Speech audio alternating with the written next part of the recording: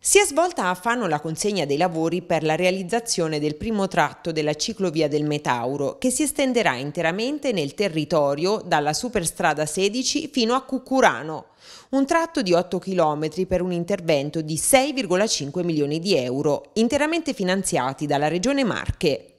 Presente l'assessore alle infrastrutture e ai lavori pubblici Francesco Baldelli. Ciclabili come strumento di rigenerazione urbana, qui a Fano ricuciamo una città e quindi rendiamo possibile il collegamento tra uno dei quartieri più uh, popolosi della città, Sant'Orso, con il resto della città di Fano che ricordiamo la terza città delle Marche. Per questo abbiamo voluto investire 6 milioni e mezzo di euro nella ciclovia del Metauro che si riconnetterà alla ciclovia adriatica e quindi quindi collegherà la ciclovia adriatica con tutto l'entroterra alle spalle eh, di eh, Fano e avrà anche un'opera iconica e funzionale come il ponte strallato che supererà questa barriera fisica rappresentata dalle,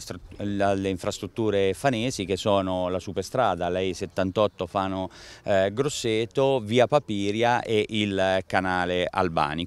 Alla cerimonia di consegna dei lavori in via Papiria hanno preso parte anche il sindaco di Fano, Luca Serfilippi, il direttore del Dipartimento Infrastrutture, Territorio e Protezione Civile, Nardo Goffi, e i rappresentanti della EVSRL di Tre Castelli, che si è aggiudicati i lavori con un ribasso del 12%.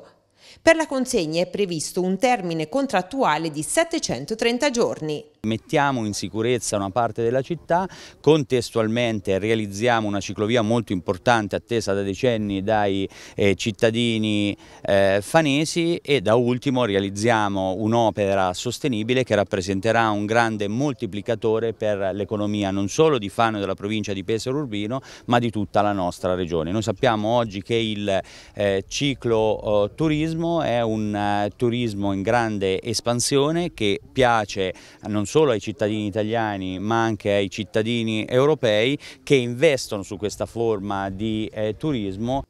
La Regione inoltre nei giorni scorsi ha ottenuto un finanziamento di 27 milioni, uno dei finanziamenti più importanti d'Italia per la ciclovia adriatica.